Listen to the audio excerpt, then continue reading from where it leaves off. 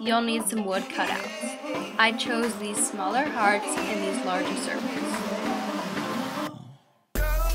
You'll also need some acrylic paint, and I chose these colors, but obviously you can choose whatever colors you want. As you're working with paint, you're also going to want to make sure that you have some paint brushes. If you want your pins to have glitter, you're also going to want to purchase some glitter glue. You'll also need some pin backs. Next, you'll need some Mod Podge. And lastly, you'll need some glue. To start off, you'll need to print and cut out your image. I chose this picture of Jake Bugg.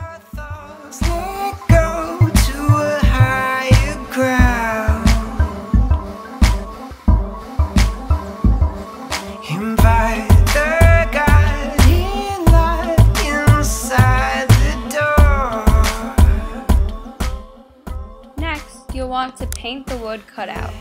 Depending on the thickness of your paint, you you might need to do more than one coat. I ended up having to do two or three.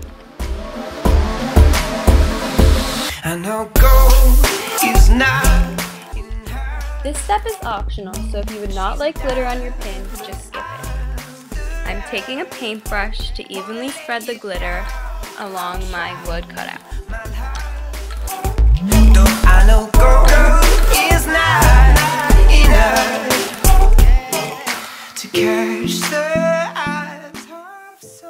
After the glitter glue has had time to dry completely, take some craft glue and put it on the back of the image. Then, attach the image onto the pin. At this point, your pin should look something like this. Apply Mod Podge to seal in the image and add a glossy finish.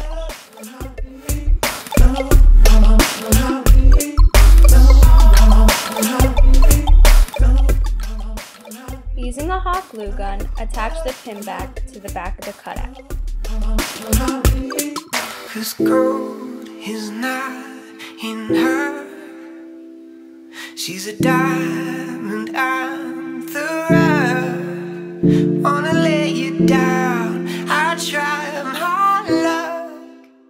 And now you're done. Gold is not in her